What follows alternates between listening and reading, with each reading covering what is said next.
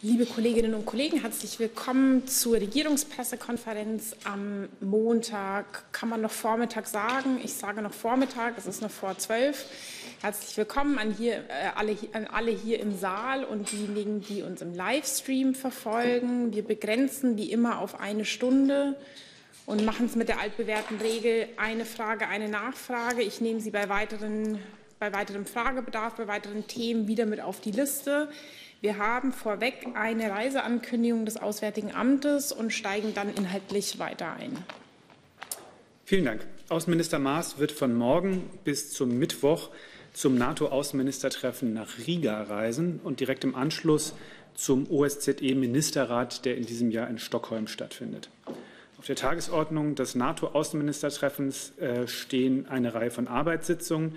Am Dienstag wird es zunächst äh, um die Lage äh, in und um die Ukraine ge gehen. Daneben sind auch die Themen Abrüstung, Rüstungskontrolle und Nichtverbreitung vorgesehen, sowie eine Diskussion zum strategischen Konzept des Bündnisses. Am zweiten Tag, also am Mittwoch, treffen sich die NATO-Außenminister mit den Außenministern Georgiens und der Ukraine. Thema sind vor allem aktuelle Entwicklungen und Reformbemühungen beider Länder. Im Anschluss findet ein Austausch zum NATO-internen Lessons Learned-Prozess zu Afghanistan sowie zur Lage auf dem Westbalkan statt, an dem auch die NATO-Partner Finnland und Schweden sowie der EU-Außenbeauftragte Josep Borrell teilnehmen werden. Daneben wird Außenminister Maas am 30.11. in Riga an einer Gedenkveranstaltung zum 80. Jahrestag des Massakers im Wald von Rumbula teilnehmen, bei dem Angehörige der Einsatzgruppen 1941 in wenigen Tagen mehr als 25.000 Jüdinnen und Juden ermordeten. Neben Vertretern der jüdischen Gemeinde und der Botschaft des Staates Israel nehmen an der Veranstaltung auch der lettische Staatspräsident, die Präsidentin des lettischen Parlaments und der lettische Verteidigungsminister teil. Auf der Tagesordnung des OSZE-Ministerrats in Stockholm stehen als zentrale Themen eine Diskussion über Reformen, die erforderlich sind, um die Handlungsfähigkeit der OSZE als Plattform für Konfliktlösungen zu erhalten, eine Debatte über den Beitrag, den die OSZE gemeinsam mit anderen Organisationen zur Stabilisierung Zentralasiens mit Blick auf die Lage in Afghanistan leisten kann. Und auch eine Diskussion über die Lage in der Ostukraine Dort haben Verletzungen des Waffenstillstands zuletzt stark zugenommen und die OSZE-Sonderbeobachtungsmission SMM ist mit immer schwerwiegenderen Einschränkungen in ihrer Handlungs- und Bewegungsfreiheit konfrontiert. Vielen Dank. Gibt es Nachfragen dazu? Herr Rinke. Herr Burger, ich hätte ganz gerne noch mal zu dem NATO-Außenministertreffen gefragt. Sie haben ja erwähnt, äh, den Dialog, den es auch mit der Ukraine und ähm, Georgien gibt. Äh, hat sich eigentlich an den an der Beitrittsperspektive dieser beiden Länder oder den Beitrittskonditionen irgendwas geändert angesichts der Zuspitzung des Verhältnisses zu Russland? Also sprich, ist, äh, der Auf, ist die Aufnahme beider Länder in die NATO näher gerückt?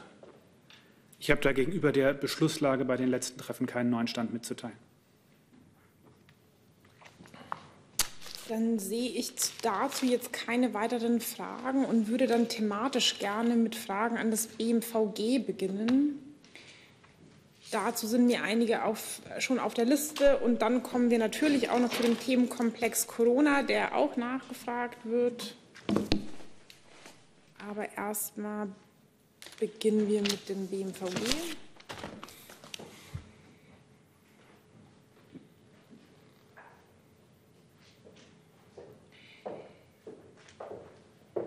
Der Kollege Stoll von ZDF Frontal fragt, die Bundesrepublik Deutschland ist mit einer, mit, ist mit einer Sperrminorität an der Rüstungsfirma Hensoldt beteiligt. Hensoldt exportiert Zielerfassungssysteme für Drohnen in die Türkei. Warum stoppt die Bundesregierung die Exporte dieser Technik nicht, die in Kriegen wie im Jemen eingesetzt wird? Ein kleiner Moment. Ich schaue gerade noch. Ähm wie mir die Sprechpunkte sind. Ähm, äh, tatsächlich müsste ich die Antwort nachliefern, ähm, da mir die aktuelle Sachlage dazu nicht vorliegt. Okay, dann bin ich ähm, im Saal bei Herrn Lücking. Ja, Herr Kollatz, ähm, die Personalie Breuer ist in den letzten Stunden diskutiert worden.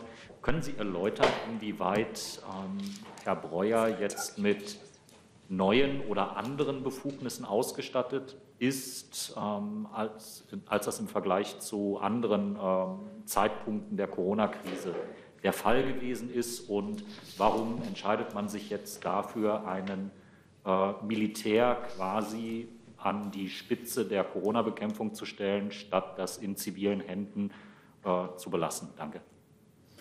Ähm, zunächst mal kann ich die Personalie noch nicht bestätigen. Sie haben ja vernommen, auch aus den Medien, dass es dazu noch Gespräche gibt. Wir rechnen zeitnah damit, dass die endgültige Konfiguration des Krisenstabes, den die zukünftige Regierung ja festlegt, ähm, dann auch bekannt gemacht wird. Ähm, aber derzeit kann ich dazu überhaupt noch nichts sagen, weil ich im Moment hier ja noch für die geschäftsführende Regierung sitze.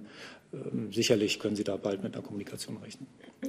Ja, vielleicht kann ich ganz generell zum Thema dieses Krisenstabes sagen, dass die Bundeskanzlerin und Minister Scholz, also ihr designierter Nachfolger, äh, in engem Kontakt über die Einsetzung dieses Krisenstabes stehen, und zwar natürlich mit dem Ziel, dass er so bald wie möglich seine Arbeit aufnehmen kann. Die Bundeskanzlerin hatte ja öffentlich gesagt, dass sie in den letzten Tagen ihrer Amtszeit da auch einer zu, ganz, zu einer ganz engen Zusammenarbeit äh, bereit sei.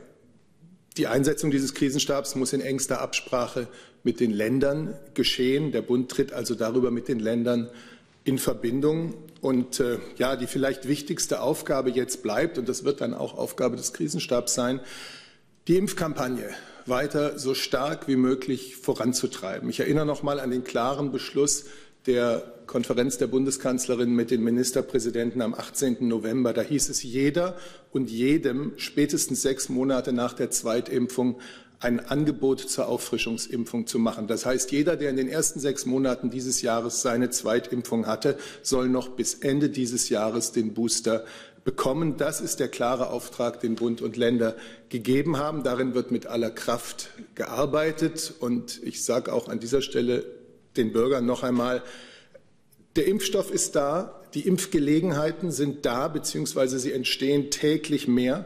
Nun ziehen auch Sie mit und holen Sie sich die Auffrischungsimpfung, holen Sie sich auch, wenn Sie bisher noch gar nicht geimpft wurden, dann die Grundimmunisierung, also die erste Impfung. Holen Sie sich den verstärkten Schutz, den dieser Impfstoff bietet. Schutz vor Ansteckung, zumindest mit großer Sicherheit Schutz vor schwerer Erkrankung, vor schwerem Verlauf.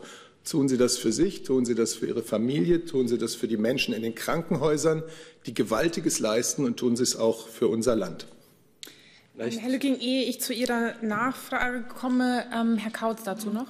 Ja, und da Sie gefragt haben, warum äh, nicht in zivilen Händen das zu belassen, ähm, vielleicht wissen Sie das nicht. Es gibt schon einen General im Krisenstab, der den Krisenstab leitet, den aktuellen Krisenstab zusammen mit dem BMI. Das ist der Generalstabsarzt Holterm, der da auch seine militärische Expertise einbringt.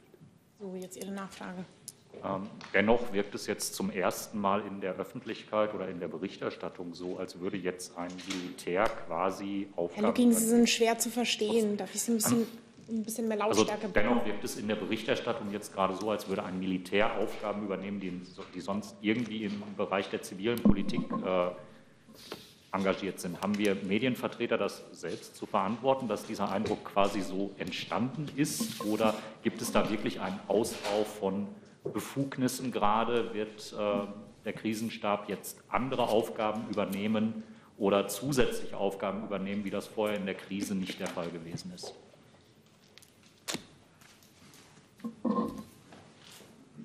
Die war nicht klar adressiert, diese Frage. Deswegen schaue ich einfach in die Runde, wer sich angesprochen fühlt. Also An, angesprochen fühlen sollte sich die Ampel, würde ich denken. Entschuldigung.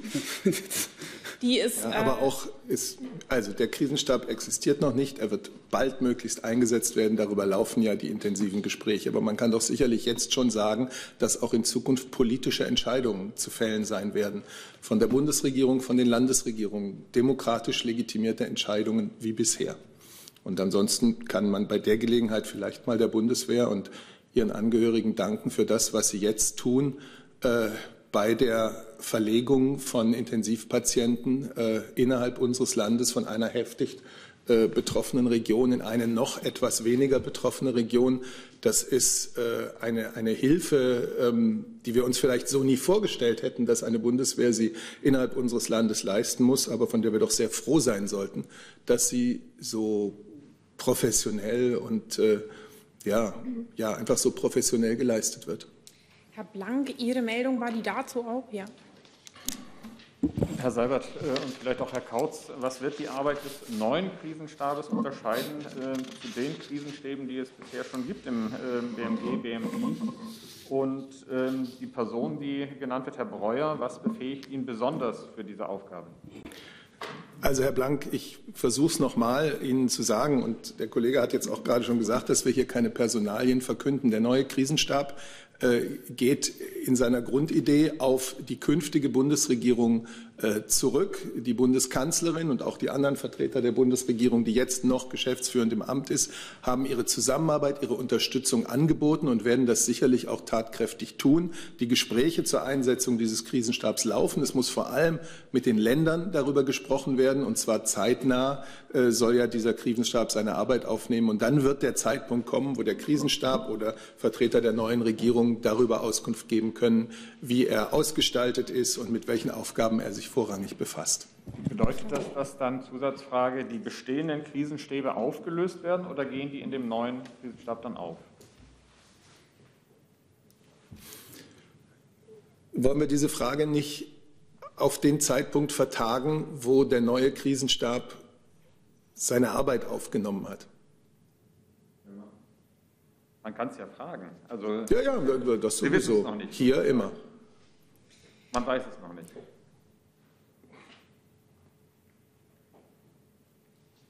Das ist, äh, die Antwort steht für sich. Ähm, Herr Brössler dazu. Ja, ich würde da doch gerne noch mal nachhaken. Herr Kaut sagte ja, man müsse die Ampel fragen.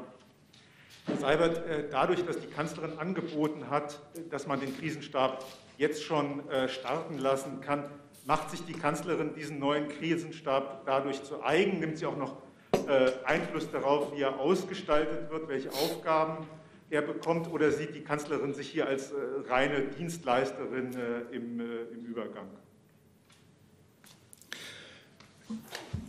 Ich kann es nur noch einmal sagen. Die Bundeskanzlerin steht zu diesem Krisenstab, seiner Einsetzung, seiner Ausgestaltung im engen Kontakt mit dem Bundesfinanzminister, dem designierten zukünftigen Bundeskanzler, Beide sind sich einig, dass es ganz wichtig ist, mit den Ländern über die Details zu sprechen. Und sobald das geschehen ist, wird es sicherlich auch einen Zeitpunkt geben, um genauer über die Ausgestaltung, die Aufgabenverteilung und so weiter zu sprechen. Aber das kann jetzt nicht die Aufgabe des Regierungssprechers der noch geschäftsführenden Regierung sein. Es ist aber das Ziel beider, also der amtierenden Kanzlerin und des kommenden Kanzlers, äh, diesen Krisenstab möglichst bald seine Arbeit aufnehmen zu lassen. Nachfrage dazu, ja? Ja, Nachfragezusatz. Äh, Herr Seibert, ist die Kanzlerin aber der Auffassung, dass es tatsächlich Dinge gibt, die die bisherigen Krisenstäbe nicht zufriedenstellend erledigt haben und es deshalb sinnvoll ist, dass es einen neuen Krisenstab mit einem General an der Spitze gibt? Es ist der Beschluss der sich bildenden Ampelkoalition, diesen Krisenstab einzusetzen. Und die Bundeskanzlerin wird in den verbleibenden Tagen ihrer Amtszeit äh, dieses unterstützen. Herr Polanski, ist Ihre Frage auch zu diesem Krisenstab? Ist sie nicht? Ich komme darauf zurück. Herr Grimm als nächstes. Herr Kautz oder Herr Seibert, ich wollte mal fragen, ob Sie noch ein bisschen Farbe hineinbringen können, wie bisher der Krisenstab arbeitet. Also wie oft tagt der, ähm, welche Berichte oder äh, Beschlussempfehlungen liegt, legt er der Regierung vor? Wie ist das bisherige Verfahren? Also der ähm, Krisenstab ist begründet in dem nationalen Pandemieplan, der dann automatisch ähm, tagt. Das erste Mal hat er getagt am 27.02.2020. Ähm, geleitet wird er vom BMI und äh, vom BMG. Er tagt äh, inzwischen wöchentlich immer dienstags, morgen zum 99. Mal. Beteiligt sind ähm, die unterschiedlichsten Ressorts äh, der Regierung, die äh, mit der Pandemiebekämpfung äh, zu tun haben. Äh, neben BMI und BMG Wirtschaft, Verkehr, Außen, BMF, Verteidigung, BMAS, BMBF ähm, und natürlich das Bundeskanzleramt. Ähm, das, der Krisenstab ist ein strategisches Gremium, das äh, Entscheidungen vorbereitet, aber jetzt keine politischen Entscheidungen in dem Sinne fällt. Ähm, außerdem äh, erstellt der Krisenstab den täglichen Lagebericht. Nachfrage dazu? Nee? Ich konnte jetzt Ihre Regung nicht deuten. Ja. ja schon. Gut. Wenn Sie intern nach ähm, anderthalb Jahren oder über anderthalb Jahren äh, auf dieses Gremium blicken, konnte es äh, die an es gestellten Hoffnungen erfüllen? Ist die Beratung, die da erfolgt, die Vorbereitung der Beschlüsse zufriedenstellend? Ich frage das, weil ja die Lage außer Kontrolle geraten ist. Herr Grimm, es gibt ja nicht nur ein Gremium, das sich beschäftigt und auch, das auch die Abstimmung auch mit den Ländern ähm, äh, führt. Es gibt CDS-Schalten, es gibt das Corona-Kabinett, es gibt GMKs, heute wieder eine Gesundheitsministerkonferenz, es gibt äh, die Ministerpräsidentenkonferenz, also auf ganz vielen unterschiedlichen Ebenen ähm, gibt es äh, Gremien, die Informationen zusammenführen, äh, Entscheidungen vorbereiten und dann Entscheidungen fällen. Ähm, die Lage jetzt ähm, von der Arbeit eines Gremiums abhängig zu machen, wird mir zu kurz sprechen. Dann das BMI dazu noch. Ich würde gerne noch eine Sache ergänzen, da Sie ja gefragt haben, ähm, wie dieser Krisenstab arbeitet. Man kann nicht jede Facette jetzt in dieser Veranstaltung abbilden, aber ich glaube, es ist noch mal wichtig zu verstehen, dass dieser Krisenstab schon eines der wesentlichen Beratungsgremien war, insbesondere in fachlicher und operativer Hinsicht. Immerhin sind sämtliche Regelungen, die die bisherige Bundesregierung zur Bekämpfung der Pandemie getroffen hat. Also denken Sie an die Corona-Einreiseverordnung, an die Corona-Schutzverordnung und vergleichbare Regelungen, auch unter maßgeblicher Beteiligung dieses Krisenstabs entstanden. Und dieser Krisenstab hat neben der Beratungsleistung immer auch zurückgespiegelt, wie diese Regelungen operativ umgesetzt werden können, insbesondere dann, wenn Bundesbehörden beteiligt waren. Ähm, Herr Jung, Ihre Frage auch dazu? Ja. Herr Kotz, wenn ich Sie richtig verstanden habe, hat der bisherige Krisenstab keine Befugnisse. Habe ich, habe ich Sie da richtig verstanden? Und Herr Seibert, welche Befugnisse muss denn der neue Krisenstab aus Sicht der Kanzlerin haben? Das kann ich schnell beantworten mit Verweis auf die Antworten, die ich hier schon gegeben habe. Der Krisenstab ist, äh, ist der Wunsch und äh, der Vorschlag der sich bildenden Ampelkoalition. Und deswegen bin ich jetzt nicht derjenige, der die Ausgestaltung, die exakte Aufgabenpalette dieses Krisenstabs hier vorzutragen hat. Und deswegen kann ich nur auf meine vorherigen Antworten verweisen. Aber die Kanzlerin will doch da mithelfen. Darum äh, wird sie denn doch quasi die Idee doch gut finden. Dementsprechend ist Ich habe dazu alles gesagt. Herr Kautz, der Alte hatte keine Befugnisse, richtig? Bitte? Der alte Krisenstab, den Sie gerade beschrieben haben, der sich morgen zum 99. Mal trifft, hatte keine Befugnisse. Oder? Da haben Sie mich falsch verstanden. Sie haben ja äh, gehört, was Herr Alter sehr ausführlich äh, gerade dargestellt hat, dass der Krisenstab äh, Kontaktbeschränkungen beschließt. Nein, diese Befugnis hatte er nicht. Dann Herr Rinke. Hatte sich erledigt, das war okay. die Frage. Ähm, ich habe jetzt Herrn Blank, Herrn Brössler und Herrn Lücking sind es alles noch zu diesem engeren Themenkomplex. Dann Herr Jung und dann würde ich ganz gerne mal ein bisschen weitermachen und nicht mehr bei diesem Krisenstab verbleiben, weil wir noch viele andere Fragen haben. Die nehmen wir jetzt noch mit. Dann bin ich bei Herrn Blank. Ja, das leitet vielleicht schon über, Herr Seibert. Sie haben das mehrfach angesprochen, dass da eine enge Abstimmung bei dem Krisenstab mit den Ländern nötig ist. Gibt es denn schon einen Termin für die nächste Ministerpräsidentenkonferenz in dieser Woche möglicherweise vor dem 9.? Äh, nachdem das ja nach wie vor die B-Länder vor allem fordern, möglicherweise schon morgen und übermorgen. Und die zweite Abstufung dazu, welche Rolle spielt das, äh, der Karlsruher Entscheid von morgen für die Terminierung einer neuen Ministerpräsidentenkonferenz? Also erstens kann ich Ihnen da jetzt keine terminliche Ankündigung machen. Und zweitens, äh, wie immer, wenn das Bundesverfassungsgericht urteilt, werden alle in der Corona-Politik Beteiligten äh, mit einer gewissen Spannung auf das Urteil warten und es dann auch äh, eingehend auswerten. Ähm, auch die Kollegen Clement und Heller fragen nach dem Termin der nächsten MPK. Das haben wir, aber Herr Clement fragt ergänzend, was aus Sicht der Kanzlerin die drängendsten Probleme für dieses nächste Bund-Länder-Treffen sind.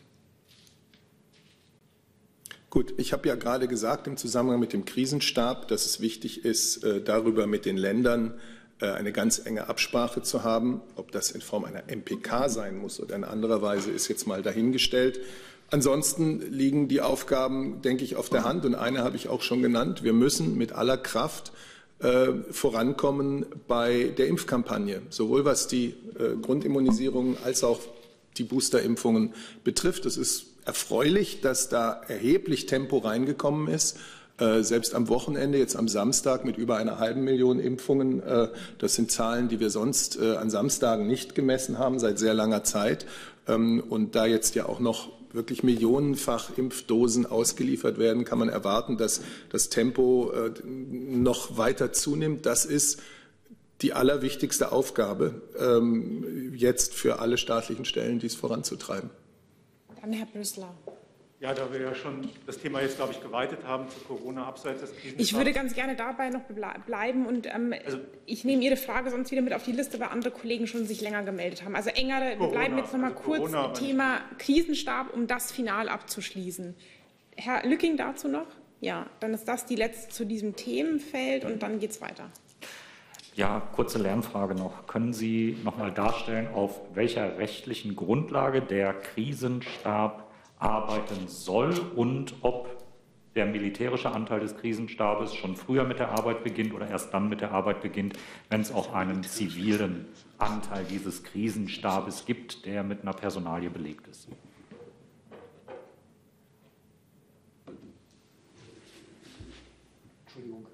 Frage wiederholen. Ich war gerade mit der Nachlieferung Hensoldt abgelenkt.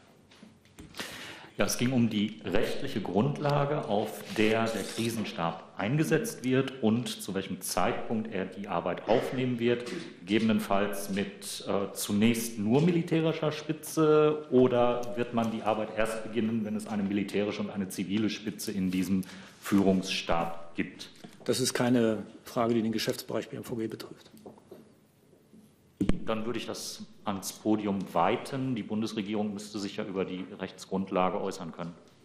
Dann alle Fragen zur Ausgestaltung und entsprechend auch zur Rechtsgrundlage bitte ich wirklich an die äh, Vertreter der Ampelkoalition, die dabei ist, äh, die Regierung zu bilden, zu richten. Denn aus äh, deren Arbeit und aus deren Koalitionsvertrag kam ähm, die, das Projekt Krisenstab-Einrichtung und äh, da bitte ich jetzt alle weiteren Fragen hinzurichten. Das heißt nicht, dass, äh, wie gesagt, die noch geschäftsführende Bundesregierung nicht ähm, hilfreich sein wird und unterstützend sein wird in diesen verbleibenden Tagen. Ich kann äh, auch zu diesem neuen Krisenstab natürlich nicht Auskunft geben, aber ich kann Ihnen sagen, was die rechtliche Grundlage für den bisherigen Krisenstab war, nämlich unsere Verfassung. Äh, mit all ihren Ausgestaltungen, mit den Bund-Länder-Kompetenzen, die sie vorsieht, mit den Grundrechten, äh, die uns im Prinzip ja äh, dazu führen, überhaupt tätig zu werden, dass man nämlich Leib und Leben der Menschen in unserem Land schützt, mit den jeweiligen Zuständigkeiten der Ministerien. Das ist die rechtliche Grundlage, auf der wir bisher gearbeitet haben. Jedes Ressort, jeder, jede Körperschaft, der Bund und die Länder jeweils nach seinem von der Verfassung zugewiesenen Recht. So, dann bin ich digital bei einer Frage der Kollegin Buschow an das BMVG. Die Bundesarbeitsgemeinschaft der Wohlfahrtsverbände hat soeben in der vorhergehenden Pressekonferenz hier in der BBK gesagt, dass sie mit einem Brief an das BMVG und an das Kanzleramt um Hilfe der Bundeswehr bei Testungen im Pflegeheim gebeten hätten. Gibt es aufgrund der anderen Aufgaben für die Bundeswehr im Zusammenhang mit Corona dafür im Moment Kapazitäten? Also diese Und werden Sie dem Wunsch entsprechen? Ich habe mich in der letzten Regierungspressekonferenz darüber geäußert, ähm, wie die Möglichkeiten sind im Rahmen der Amtshilfe. Ich habe ähm, auch unterstrichen, dass wenn die Bundeswehr ähm, hier in dieser schwierigen Krise, die ja fortführt, äh, fort, sich fortsetzt, gebraucht wird, sie auch weiterhin da ist im Rahmen des Möglichen. Habe deutlich gemacht, dass wir aber im Rahmen unserer Bündnisverpflichtung auch hier in äh, der Bringschuld sind und das immer abzuwägen gilt. Diesen von Ihnen genannten Einzelfall kann ich hier ähm, nicht kommentieren. Aber also es bezog sich speziell auf die Testungen in dem Pflegeheim, ob dort die Kapazitäten der Bundeswehr auch ausreichen unter den gegebenen Bedingungen. Genau, das ist diese Einzelfrage, die kann ich hier am Podium nicht beantworten. Okay, dann bin ich im Saal bei Herrn Polanski. Ähm, es geht um den ähm, gelben Impfpass. Ähm, es gibt ja einige Länder, Baden-Württemberg jetzt, die nicht mehr anerkennen wollen. Ist das rechtlich überhaupt möglich, weil es doch ein offizielles Dokument Richtet sie sich an mich, die Frage? Ja, im Grunde schon. Ich meine, also der, der, gelbe Impfpass ähm, ist gültig, ähm, genauso wie die digitale Version des Impfpasses. Aber als Nachfrage, wenn jetzt einzelne Länder sagen, oder einzelne Einrichtungen auch, wir werden das nicht mehr anerkennen, steht da die Bundesregierung zu? Also das, das ich kann Ihnen da nicht weitere Auskünfte als das sagen, was ich Ihnen gerade gesagt habe. Dann bin ich bei Herrn Brüssler. Ja, Herr Kautz, äh, etliche Mitglieder der geschäftsführenden Bundesregierung wissen ja schon, wer ihnen nachfolgt und können den äh, Übergang äh, angehen. Äh, ausgerechnet äh, der Bundesgesundheitsminister in der jetzigen Lage weiß das nicht, an wen er das Ressort übergibt. Äh, erschwert das den Übergang und wenn ja, wie? Ich kann da eigentlich nur verweisen auf die Ausführungen des Ministers äh, gestern Abend in der ARD, der gesagt hat, es wäre wünschenswert, ähm, äh, die Nachfolgefrage äh, sehr schnell zu klären, um diese Übergabe halt möglichst äh, so zu gestalten, äh, dass äh, es keinen, keine Lücke gibt im Pandemie-Management. Das hatte ich Zusatz, wenn ich darf, das hatte ich gehört. Ich hatte gehofft, dass Sie vielleicht ein bisschen ausführen können, wo es dann jetzt genau hängt und was, was da eventuell erschwert wird, ob Sie das ein bisschen konkretisieren können.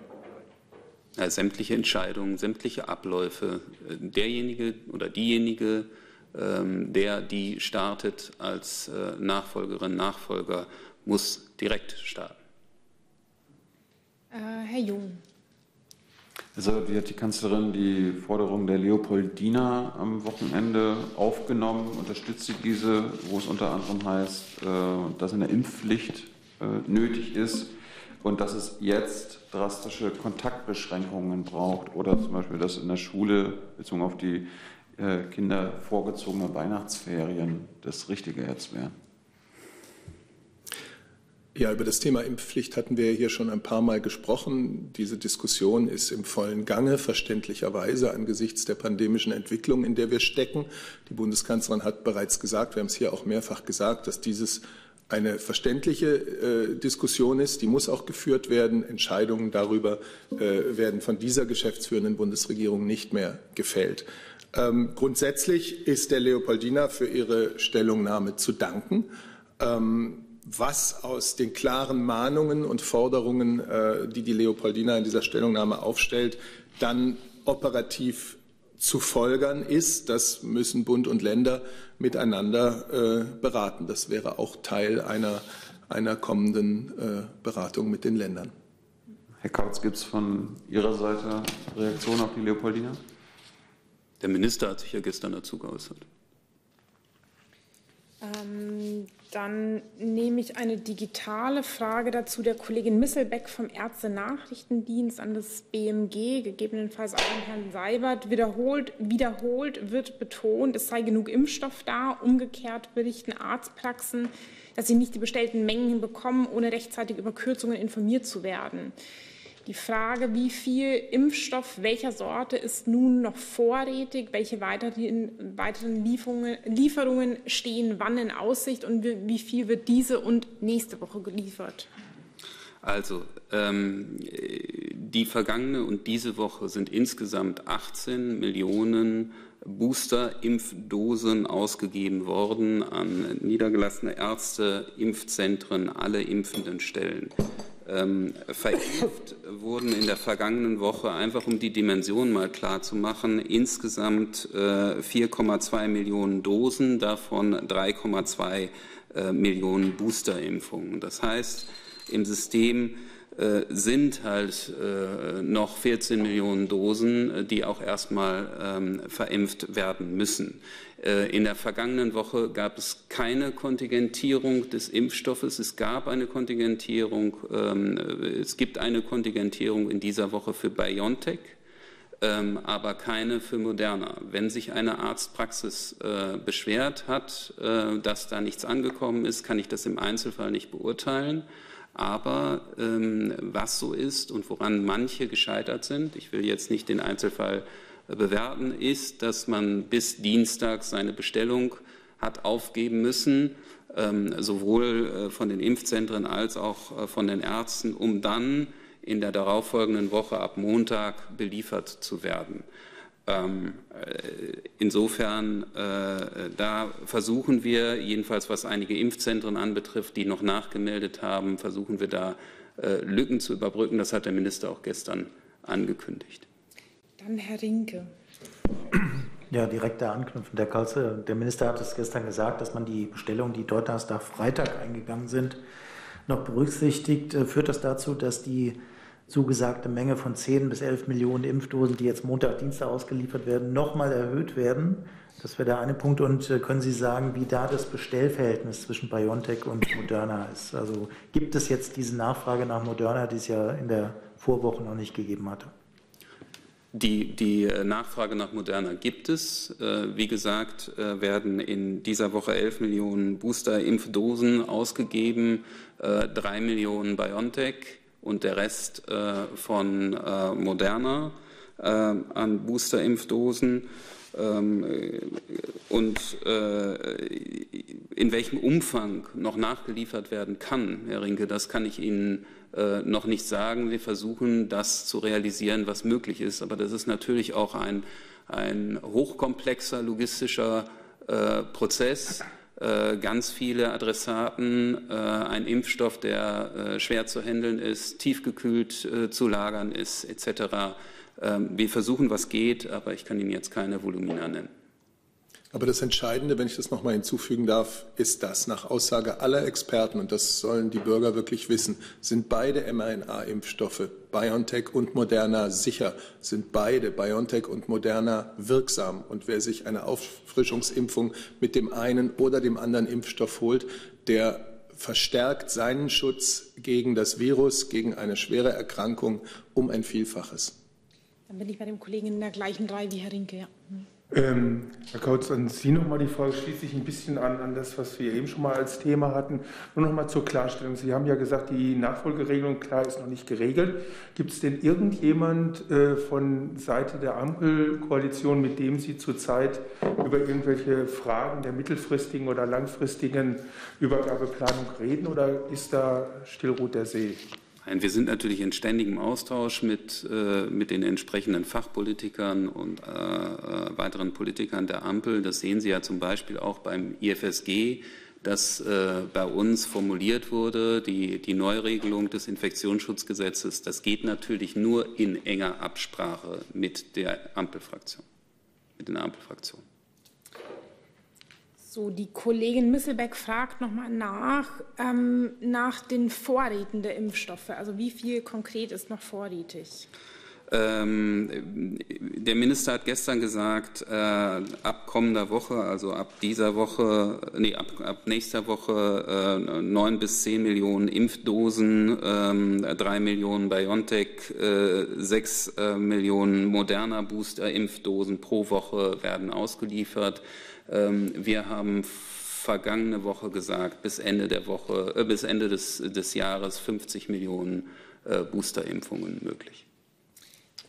Dann Herr Jung. Kurze Lernfrage nochmal. Warum können die Ärzte nicht mehrfach die Woche bestellen, Herr Kautz? Und Herr Seibert, wie bewertet die Kanzlerin zum Beispiel die Großveranstaltungen an diesem Wochenende? Zum einen wurde in Leipzig war das Stadion leer, in Köln war das Stadion proppevoll angesichts der Diskussion um das um Absagen von Großveranstaltungen.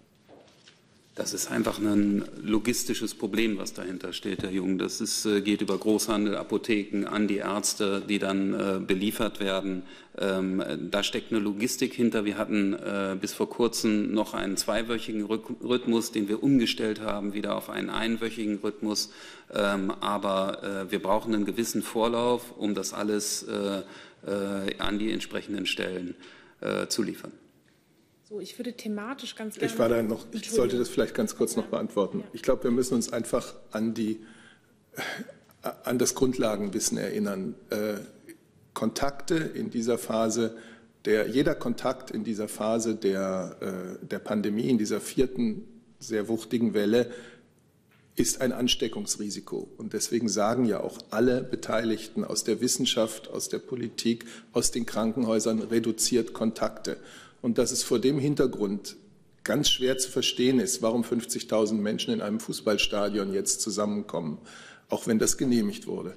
Ähm, das, glaube ich, kann jeder verstehen, das kann jeder nachvollziehen, äh, dieses, äh, dieses Befremden über, über solche Bilder, wenn anderswo in besonders betroffenen Regionen Weihnachtsmärkte geschlossen sind. Das, ist ja, das sind ja harte Maßnahmen, die da ergriffen werden. Und auch wenn es regional sicher unterschiedliches Geschehen gibt, äh, denke ich, dass diese Aufforderung, Kontakte äh, zu reduzieren, jetzt doch so langsam für uns alle gilt. Denn wir werden natürlich erleben, das ist ja von Herrn Kautz auch gesagt worden, dass äh, diese, diese Höchstinzidenzen äh, nicht nur im Südosten und Süden äh, der Republik verharren werden, sondern dass das auch in andere Landesteile nord nordwestlich wandern wird. Und deswegen ähm, ist es nicht leicht zu verstehen, warum es solche Bilder gibt.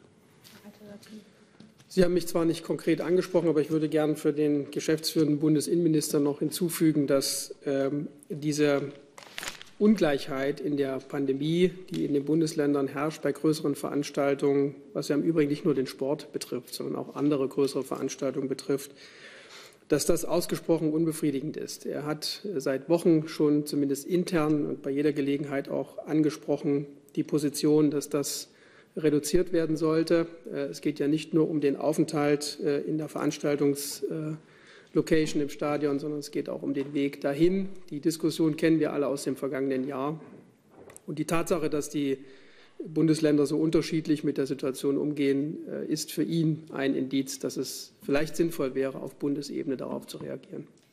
Ich würde thematisch ganz gerne jetzt weitermachen, weil einige Fragen noch gar nicht thematisiert wurden ähm, und bin bei Herrn Lücking mit einem neuen Thema. Ja, es geht um das Thema Afghanistan, äh, auch in Richtung des äh, Auswärtigen Amtes. Also ich würde das ganz gerne ans Ende stellen und erstmal die Kollegen, deren Fragen schon lange offen sind, jetzt mal drankommen lassen und dann gucken wir, was zeitlich danach noch möglich ist. Ähm, weil wir lang bei diesem Themenbereich waren. An wen richtet sich die Frage, Herr Lücking? Auswärtiges Amt ist mit ja. im Boot. Okay, dann macht einmal das BMVG, fängt ja. dazu an und dann wechseln wir. Wir hatten am Anfang die Frage zur Weitergabe von Hensoldt-Technik. Äh, mein Team hat mich darauf aufmerksam gemacht, richtigerweise, dass es sich hier um eine Frage des Rüstungsexports handelt, für das das BMVG keine ähm, Antwort geben kann. Da bitte ich sich ans BMWI zu wenden. Okay. Fühlen Sie sich da angesprochen? Dann trage ich die Frage noch mal vor. Ähm, der Kollege Stoll fragte zu Beginn dieser Pressekonferenz, die Bundesrepublik ist mit einer Sperrminorität an der Rüstungsfirma Hensoldt beteiligt. Hensoldt exportiert Zielerfassungssysteme für Drohnen in die Türkei. Warum stoppt die Bundesregierung die Exporte dieser Technik nicht die in Kriegen wie im Jemen eingesetzt, eingesetzt wird. Genau. Ähm, jetzt haben wir hier so ein bisschen äh, so, so, einen Sprung. Ich würde ganz gerne diese Nachreichung einmal machen und dann bin ich bei Ihnen, Herr Lücking, damit wir nicht zu viel hin und her springen.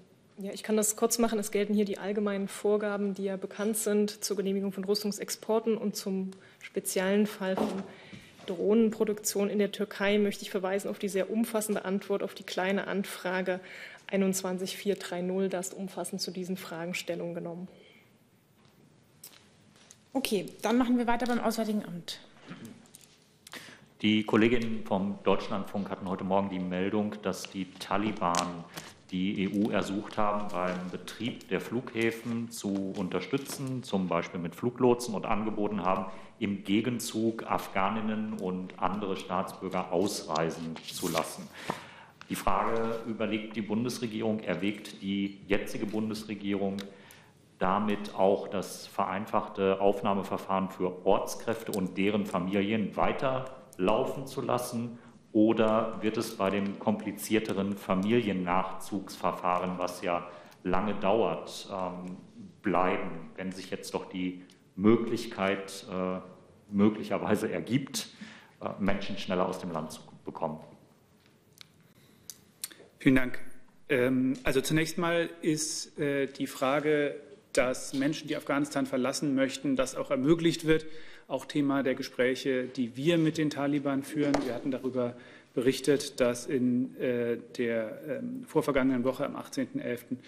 der Afghanistan-Beauftragte der Bundesregierung, Herr Wieck, und äh, Botschafter Potzel zu Gesprächen in Kabul waren. Und auch dort war das äh, natürlich ein zentrales Thema, weil wir möchten, dass die Menschen, für die wir in Afghanistan noch Verantwortung tragen und die dort bedroht sind, das Land sicher verlassen können dass, äh, und entsprechende Zusagen hat es von Seiten der Taliban ja auch gegeben und auch nicht zum ersten Mal. Und äh, an diesen Zusagen messen wir die Taliban auch nach wie vor.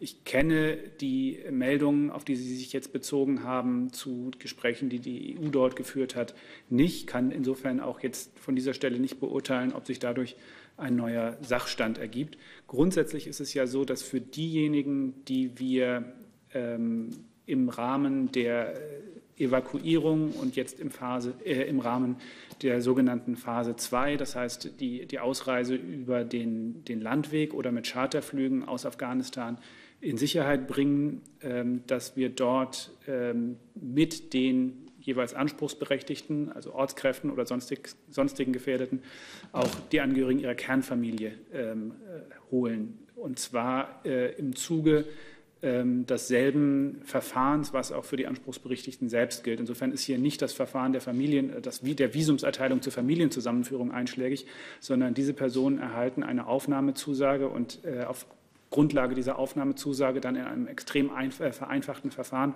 was ja auch in den Auslandsvertretungen sehr zügig durchgeführt wird, dann direkt das Visum zur Einreise nach Deutschland.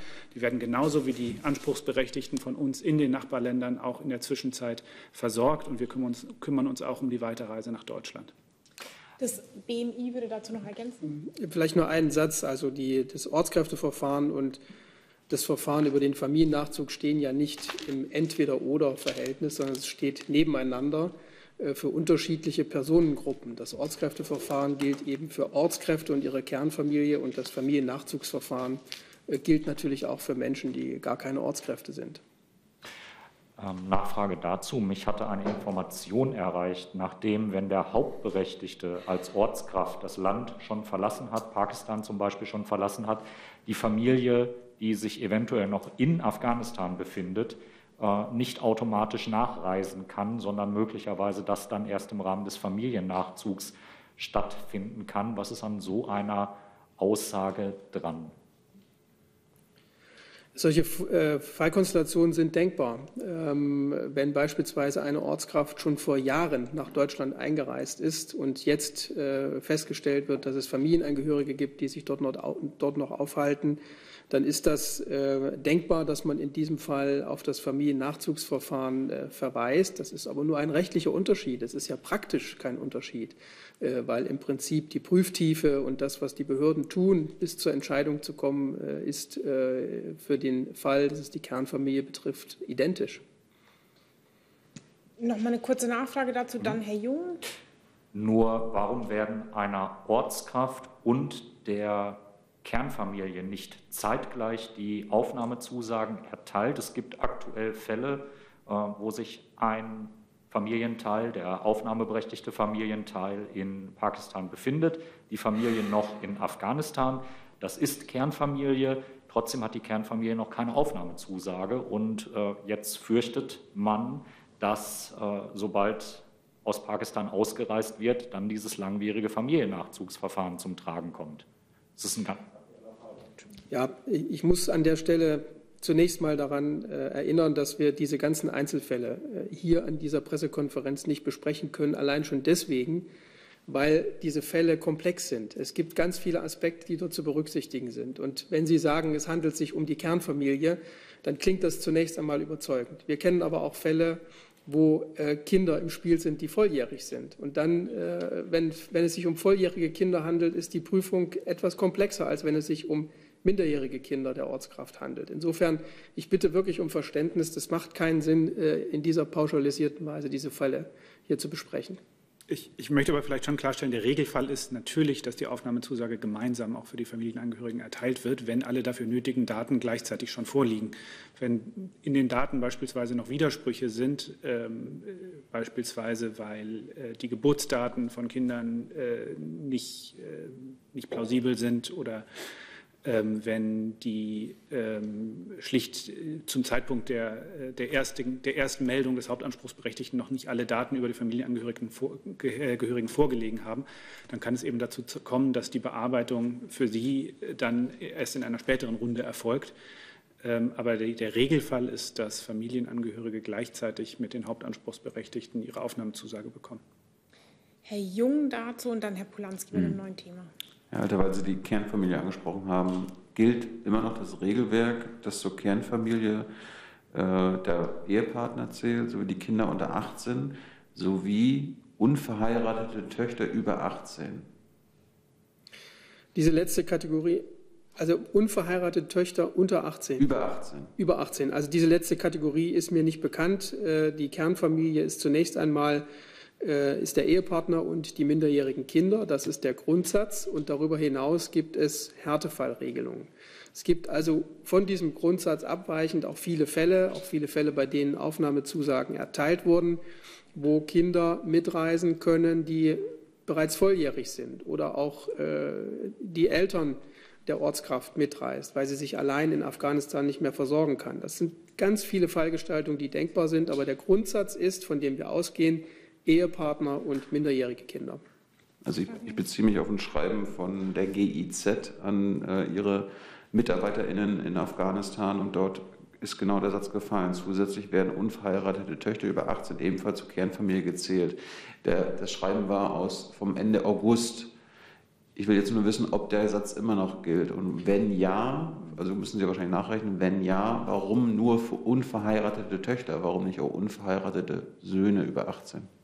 Also ich prüfe das gern nach. Ich, ich kenne dieses Schreiben nicht, aber will noch mal darauf hinweisen, ähm, es kann sein, dass es Richtlinien gibt, wie mit bestimmten Härtefallkonstellationen umzugehen ist. Das ist aber nicht gleichbedeutend damit, dass plötzlich diese Gruppe auch zur Kernfamilie gehört. Herr Polanski. Ja, ich hätte eine Frage ans Arbeitsministerium. Dann wechseln wir einmal.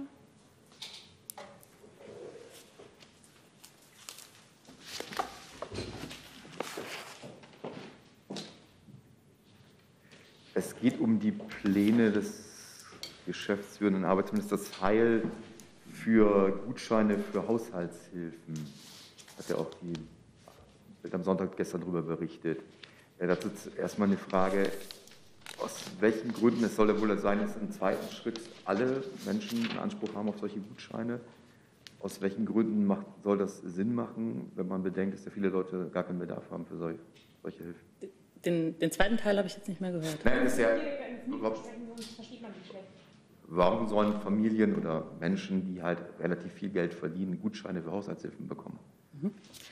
Ähm, ist richtig, wie Sie gesagt haben, der Minister hat gestern in einem Interview ähm, zu den sogenannten Alltagshelfern äh, Auskunft gegeben und er hat auch erklärt, wer davon profitieren soll. Das ist ja ein Vorhaben im neuen Koalitionsvertrag. Profitieren sollen Familien, Alleinerziehende und Pflegende. Ähm, vielleicht sage ich noch mal, was er konkret gesagt hat. Er hat gesagt, wir werden ganz konkret den Alltag von Familien erleichtern, gerade als Eltern von kleinen Kindern oder wenn man Angehörige pflegt, braucht man Unterstützung, sei es beim Putzen der Wohnung, bei der Kinderbetreuung oder bei der Pflege. Doch Normalverdiener können es sich oft nicht leisten, für diese Hilfe eine reguläre sozialversicherte Arbeitskraft zu engagieren. Das werden wir ändern. Wir führen für Familien ein System der Alltagshelfer ein. Das schafft einen ganz neuen Arbeitsmarkt und Fortschritt in der Familienpolitik. Und auch die Alltagshelfer profitieren, weil sie sozialversichert sind und mindestens 12 Euro Stundenlohn erhalten. Nachfrage dazu? Nachfrage.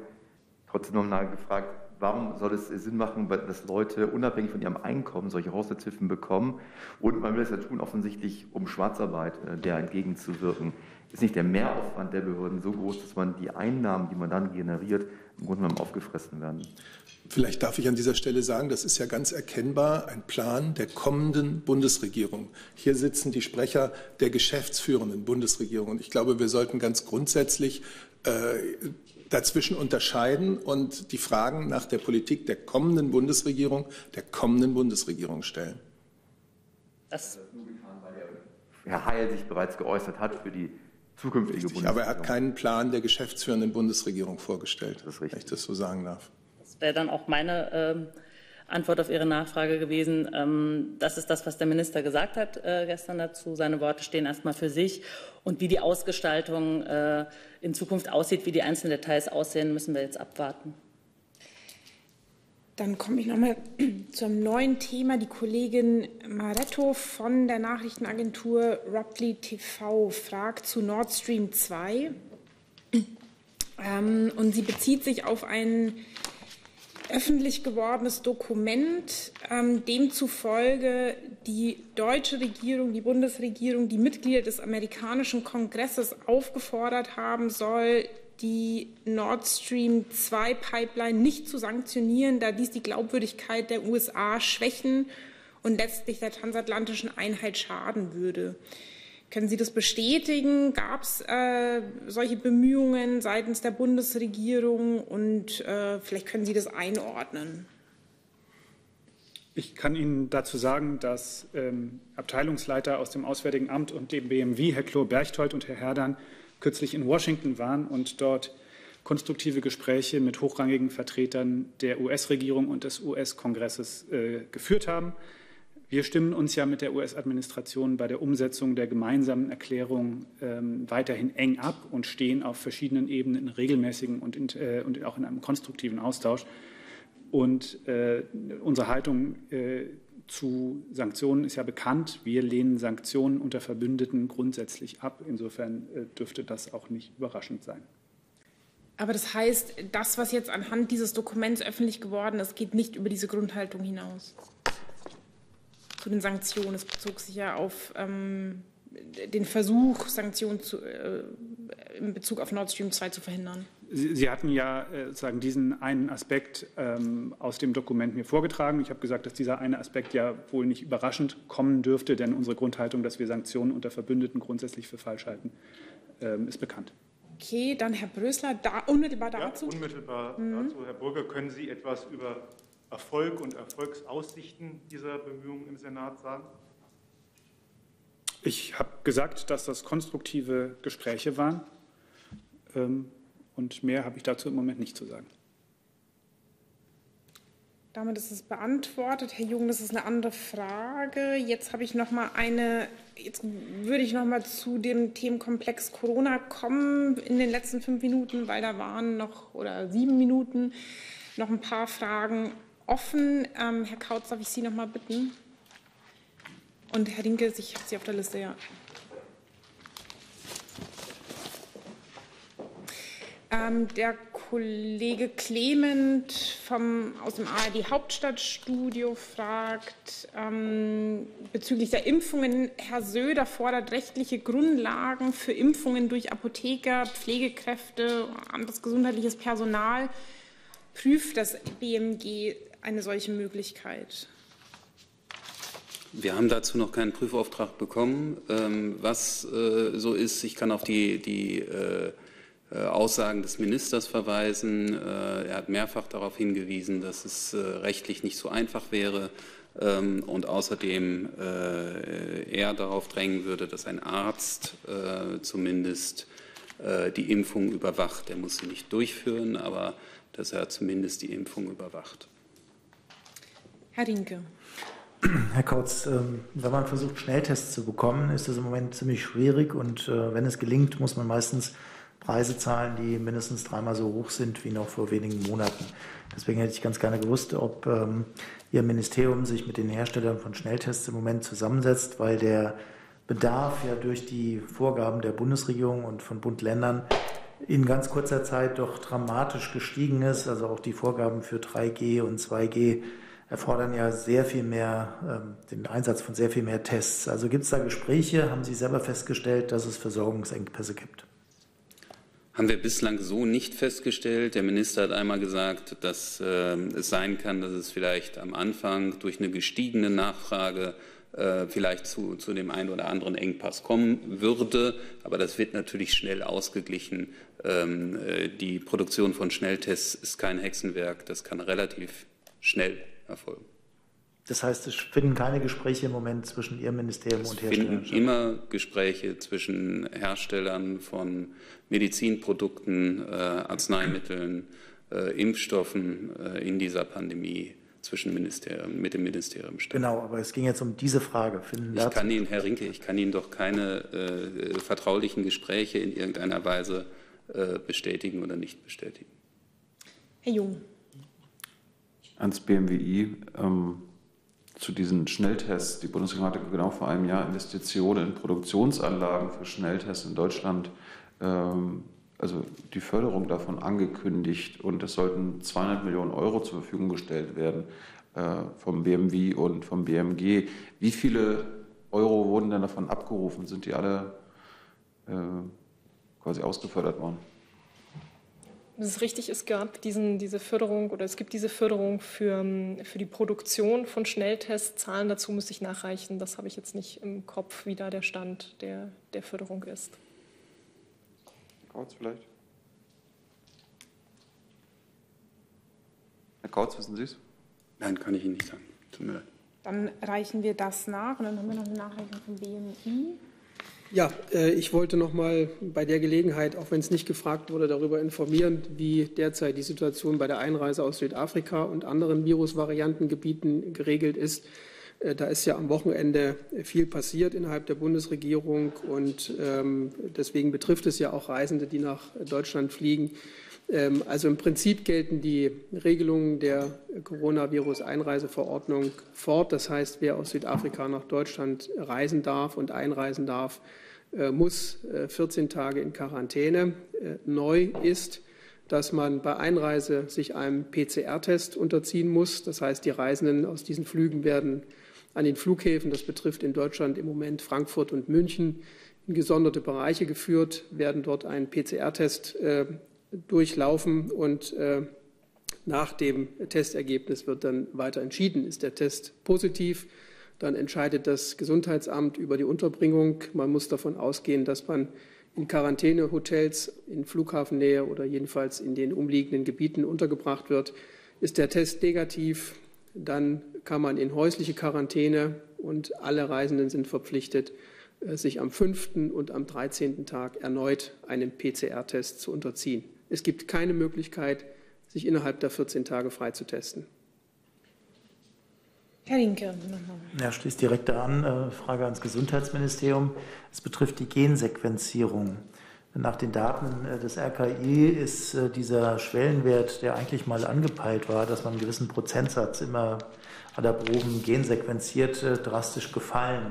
Soweit ich weiß, weit unter 5 Prozent. Woran liegt das, dass nicht mehr gensequenziert wird? In es ausreichendem Maße. Es wird gensequenziert und auch im ausreichenden Maße. Es ist halt die Frage, ähm, wie, viel, wie viel Tests gemacht werden. Wenn Sie eine Prozentzahl haben, dann müssen Sie ja eine Bezugszahl haben. Ähm, die absolute Zahl wird sich nicht groß verändert haben, der Gensequenzierung.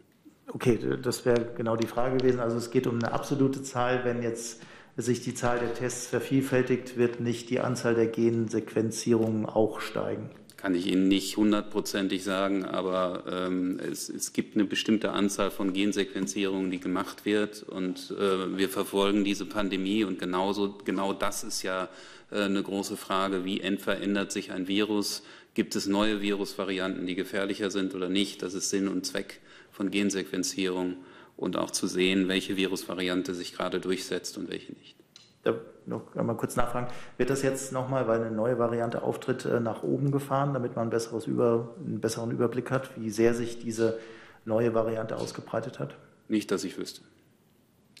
Dann hat Herr Jung die letzte Frage. Herr Sabat, hat sich die Kanzlerin angesichts von Omikron äh, in den letzten Tagen nochmal von den Virologinnen ihres Vertrauens beraten lassen?